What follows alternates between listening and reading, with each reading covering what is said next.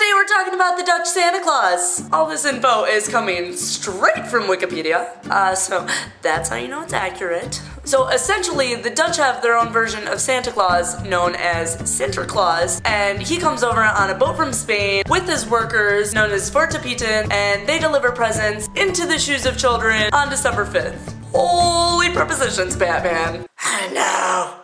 So many prepositions. Except the weird thing about Sinterklaas is that he's white, and all of his workers, all of his Zwarte Pieten, they're black. Except they're not even black, they're all white guys wearing blackface. Holy politically incorrect, Batman. Oh man, so politically incorrect. Ah. So about a month ago, I went to Amsterdam and I actually got invited onto Sinterklaas's boat. When I was on the boat with Sinterklaas, I got to interview him and ask him all about this very curious tradition. It's like no, no big deal or anything. Santa and I are just like this now. Play footage in three, two, one. So, what is this?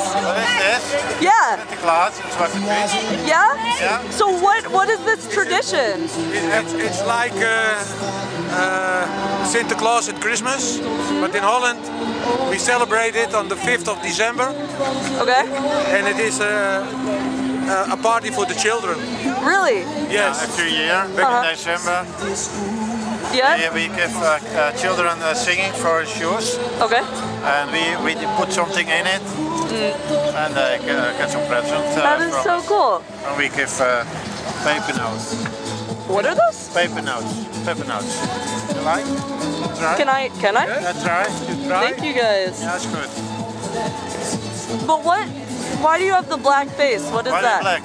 Because we go to the to the To the chimney, to the chimney, Oh, Yeah, really? we put are something black. in the shoes of the children. Okay, and that's little, why little you. presents. Why, uh, yes. It's a tradition in Holland. Luister eens even naar mij. Voor jou zit er zeker iets glitterends bij. Je weet toch wel hoe dat gaat met me. Okay, pause. So in addition to learning how woefully unprepared I was for that interview, I hope you guys got a healthy dose of Dutch culture as well. Recently, the Zwarte Piet has become the subject of controversy in the Netherlands as a lot of people have linked the blackface to slavery. You know, I can't imagine why. For the life of me, I don't see it. Jokes! I see it. So a history lesson. Traditionally, Zwarte Piet is black because he's said to be a Moor coming from Spain. However, recently the Dutch have attributed his blackface to the soot he encounters while flinging down the chimney. Good save, Dutch people. Good save. And you know, I, I, yes, I can understand why this is the subject of a lot of controversy. But personally, what I don't understand is why we're not talking about the other weird facet of Zwarte Piet. Namely, historically in urban legends, Zwarte Piet is said to take naughty kids and put them in his black bag and haul them back to Spain. Like he just kidnaps kids. Oh, Dutch culture, you're so creative. You get on with your best self. Nah, but you guys know the Americans couldn't let the Dutch have all the fun. So, you know, doing what we did best, we uh, jumped in there, hijacked their culture, and actually based Santa Claus off of Sinterklaas. So, Merry Christmas.